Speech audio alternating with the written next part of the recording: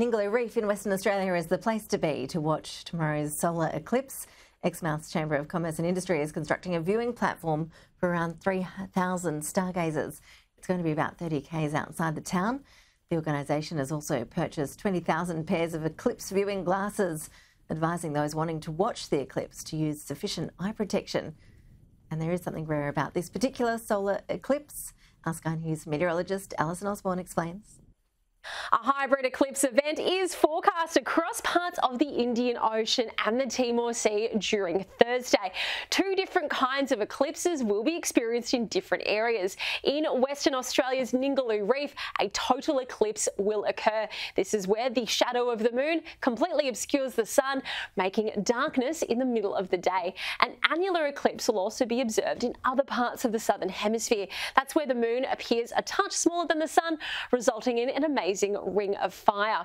Now, the timings of this rare event for the West Australian coast, it will take three hours from start to finish as the moon tracks in the path of the sun. The total eclipse, just over a minute of total darkness, will be over Exmouth at 11.27 a.m. local time. For residents of Perth, the moon and the sun will look closer to this crescent with the maximum obscuration of 77% at 11 20 a.m. Now, the path of the moon will roll along the northwest shelf of WA and it will result in that total eclipse over Exmouth. The forecast cloud shows not a puff expected. A large high pressure system in the bay will make for dry conditions, clear skies. So not only are the moon, the sun and the earth coming into a line, the weather is as well.